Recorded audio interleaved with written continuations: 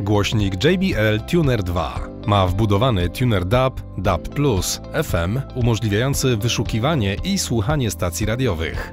Swoje ulubione kanały zapiszesz w pamięci. A gdy masz ochotę posłuchać własnej muzyki, połącz z głośnikiem dowolne urządzenie bezprzewodowo za pomocą Bluetooth. JBL Tuner 2 ma pojemny akumulator, który działa nawet do 12 godzin na jednym ładowaniu.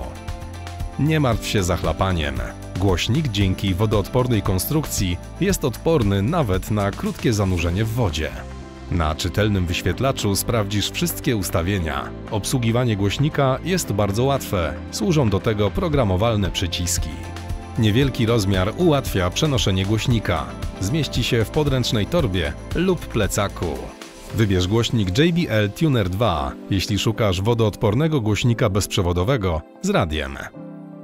Po więcej informacji wejdź na stronę euro.com.pl